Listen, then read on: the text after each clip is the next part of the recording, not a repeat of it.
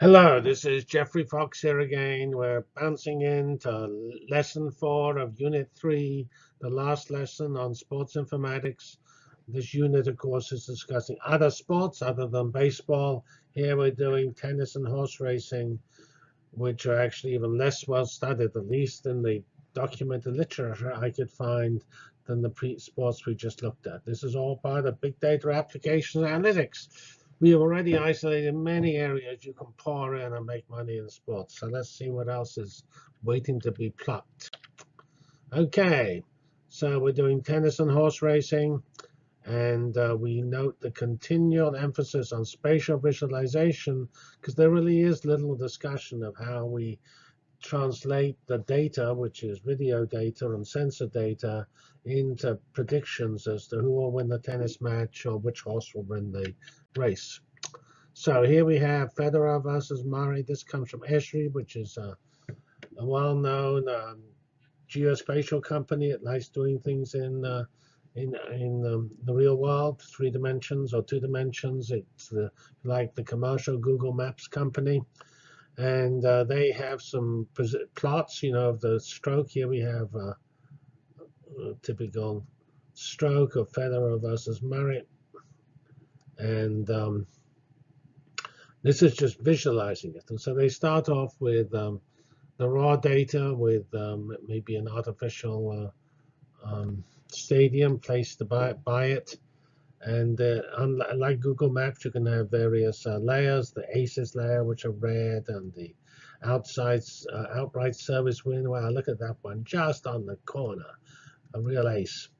Uh, the white neutral serves, and so on and uh, then you can actually put the court in, which is what we see. So this shows you how you can build a collection of images, defining different types of uh, stroke, and uh, also the paraphernalia, the players and the and the and the spectators in the court. And then you can link them together in layers, just as you can with Google Maps, where you choose whether you want the uh, satellite image or the map image or the traffic info, traffic inf information super or, or the street scene superimposed on your map. This is classic spatial visualization. So here we've actually superimposed the um, um, actual uh, crowds, and here we have some real players. And this is just a plot, it turns out, of Federer's second shot placement. And again, it's not so clear that um, I guess uh, um, red are meant to be aces, if I remember. But here, red looks like a screw up, not a, not an ace. So uh, I'm not quite certain. It doesn't say what the colors mean here. Again, this comes from Esri, the uh, commercial Google Maps company, who actually did maps a long time before Google did, but also before the web came along, and that's what Google uh, pioneered. Um, so this is a set of layers, the second shot layers. And here we have just all of strokes. And um,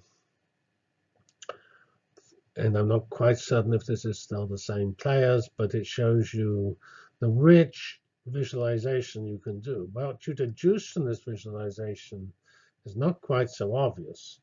What can be seen is you can really see how the how the ball flows and and uh, through the air and what its track is. And this all comes presumably from analyzing the video data, because just as you can with baseball, it should be very straightforward to track the tennis ball with high-speed videography. Um, here is just another um, I found this um, blog here.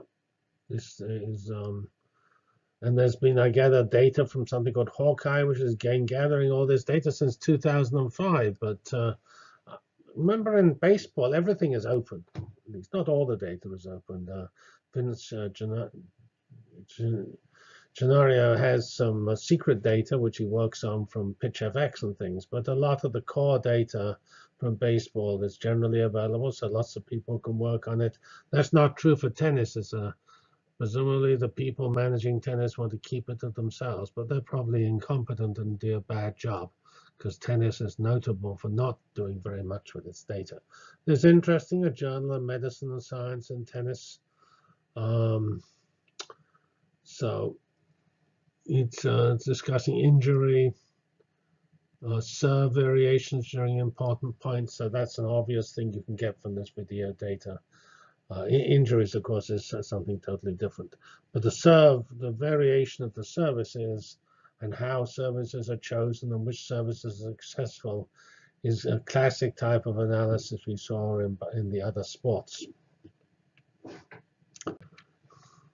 Now we have for the last uh, slide just something on horse racing.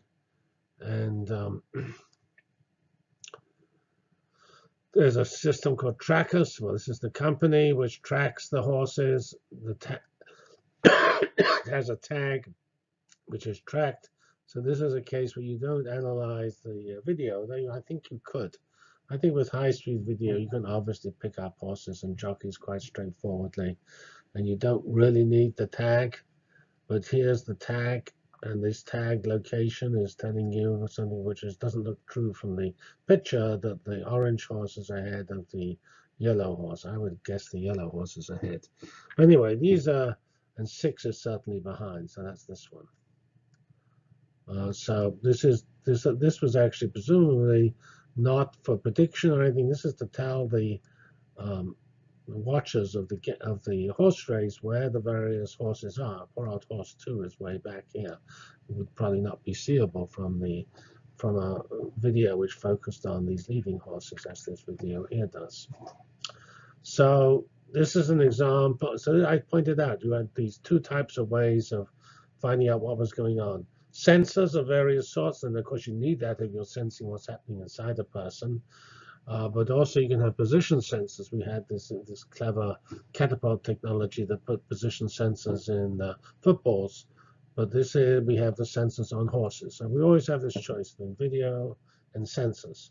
And um, quite what's necessary depends on the quality of your image processing. Video appears to me, just from the uh, PitchFX uh, type uh, data, video appears to me to be, and also we had the um, NFL analysis from UC, uh, uh, not UC, University of Illinois at Urbana-Champaign, and that appeared to be able to find things in the video. So actually, with today's computer vision technology, maybe video is all we need. That's an interesting question to do some research on. This whole area, I think, is really quite exciting. There's lots of work still to be done because most of these fields are quite behind, and um, at least they appear to be quite behind. They may be okay, but that's not telling you anything. But it's interesting. Baseball tells you everything, more or less everything.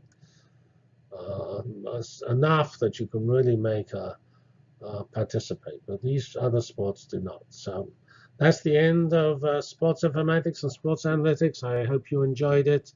Um, it's a little frustrating. There is no, there's certainly no book on the subject. Diamond Dollars is the only book I could read, and Diamond Dollars about the fiscal model for baseball and its implications and relationship to player quality, not on game results and player quality, which is the sort of heart of the sports analytics that's, uh, at least to me, is most interesting, where you get the machine learning and nifty uh, algorithms. Okay, great that's the end of these uh, the single section on sports informatics with three units. Thank you very much.